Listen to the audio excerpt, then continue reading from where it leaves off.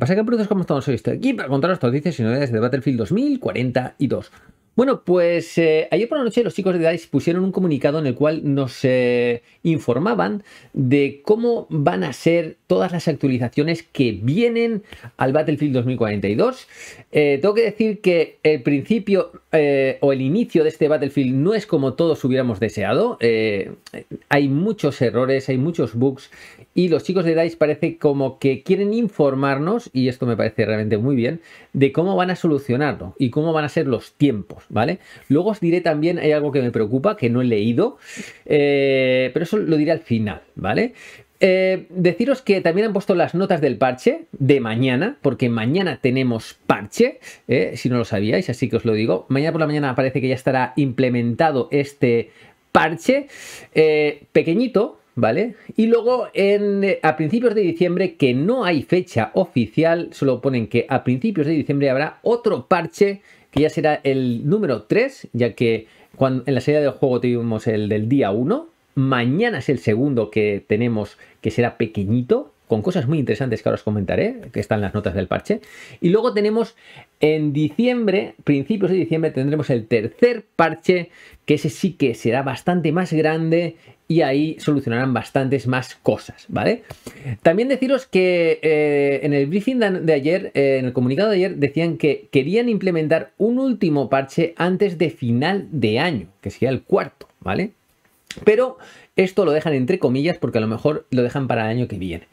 Pero bueno, vamos al lío porque este... El parche de mañana, que aunque es pequeñito, trae cosas bastante interesantes. Eh, lo primero, hablar acerca de la dispersión, ¿vale? Esa dispersión de bala. Pues parece que en el parche de mañana van a solucionar muchos de estos problemas de dispersión de bala, con lo cual donde apuntes va a ir eh, la bala. Así que digamos que la experiencia en cuanto al apuntado, al aim y al disparar va a ser muchísimo mejor, la van a mejorar bastante. Luego, ojo que van a haber varios nerfeos. Uno va a ser la PP29 y cómo lo van a hacer, le van a meter un recoil vertical para que no te sea tan sencillo usarla y no sea el arma que todo el mundo gasta porque es la que parece como que más mata porque mata en todas las distancias, ¿vale? Así que un pequeño nerfeo a esa PP29 a ver si la gente se anima también a coger otras armas que creo que es positivo coger otras armas porque eh, evolucionas con el juego, ¿no? Y, hay que, no hay que, digamos, coger un arma y dedicarte a esa arma y ya está, sino hay que ver todo un poquito porque el Battlefield tiene muchas facetas que descubrir. Bien, eh, luego también hablaremos de los vehículos, pero antes eh, tengo que hablar del problema cuando estás muerto. Eh, hay dos problemas. Uno, cuando estás muerto cerca de un bordillo que no te pueden revivir. Bien, pues esto también en el parche de mañana lo van a solucionar. Y luego cuando estás muerto que estás en el suelo y no te sale ninguna forma de ni, desplegar, ni te pueden ver los compañeros, no hay nada de esto, bien, pues esto lo van a solucionar también en el parche de mañana. Van a implementar unos, eh, un tiempo, unos 30 segundos, y cuando pasen esos 30 segundos te van a poder eh, o sea, no, es que te van a poder revivir, sino que volverás a desplegar automáticamente. Esto me parece muy interesante. Bueno, y ahora uno de los puntos que creo que a, mucha gente le va a interesar y es el nerfeo de los vehículos. Eh, primero vamos a hablar del nerfeo a los helicópteros, porque está nerfeo a los helicópteros y nerfeo también al overcraft o aerodeslizador. Bien, todos los helicópteros, eh, tanto el Nightbird como los helicópteros de ataque, el Apache y el Super Hokum, van a tener nerfeo en, el radio de acción de los cañones. Y, en cuanto a la salpicadura de las explosiones, ¿vale? Entonces, eh, ¿esto en qué se va a traducir? Pues que van a hacer menos daño y va a lo mejor, no es que vayan a matar menos, porque pues, probablemente si eres un buen piloto de helicóptero te van a hacer las mismas bajas. Pero sí que es cierto que a lo mejor le dan esos pequeños segundos a la infantería para o sacar el antiaéreo o para intentar hackear el helicóptero y esto va a hacer que el, que conduce el helicóptero tenga que ser más habilidoso a la hora de, conseguir esas bajas. Es como intentar equilibrar el, eh, eh, digamos, la habilidad del piloto con la habilidad de la infantería. Y también es que la infantería está sufriendo bastante con estos, este tipo de helicópteros. Bueno, eh, y luego también eh, se va, ojo, a nerfear lo que es el aerodeslizador, ¿vale? Eh, pero no en cuanto al poder que tiene, sino a su armadura. Se le va a reducir bastante, con lo cual parece como que va a ser más vulnerable a los ataques de la infantería. Y bueno, interesante porque realmente estaba bastante roto, la gente solo hacía que cogerlo y bueno, así que ahora pues habrá que buscarse la vida con otro tipo de vehículos, ¿vale? Y bueno, aquí habla también del portal eh, en el cual se está diciendo que vuelve el UAP, eh, retraso y la velocidad de la regeneración de salud muy reducidos, mayor daño de misiles contra vehículos e infantería, y el dron ahora puede matar enemigos en la carretera. Esto es lo que en el portal lo que se va a solucionar. Y las partidas de avance ahora sí que se acabarán correctamente, ya que eh, cuando se, terminaba con el último sector, parece como que había algún problema y no, no terminaba como, como es debido. Y bueno, eh, ahí en el portal pues parece que también había un problema con los jugadores, que los que estaban en cola los devolvía al menú, pues esto también parece que se ha solucionado. Y luego pequeños problemas en cuanto a estabilidad. Estas son las notas del parche y ahora vamos a ver qué vendrá en el parche de diciembre.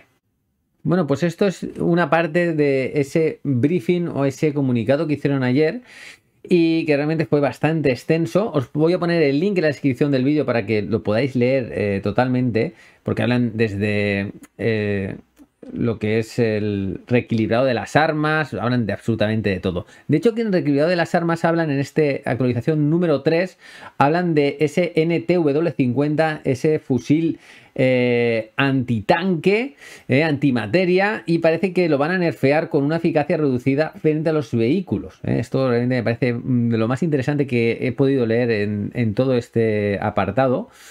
Luego ah, no son muy concisos. Hablan acerca de corrección de, la interfaz de usuario, del matchmaking.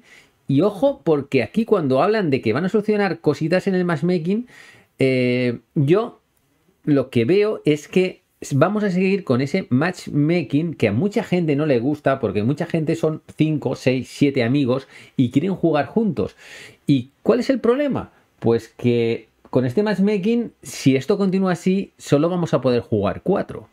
¿Y qué pasa? Que ¿Cuál es eh, la solución a esto? Pues la solución a esto es el portal.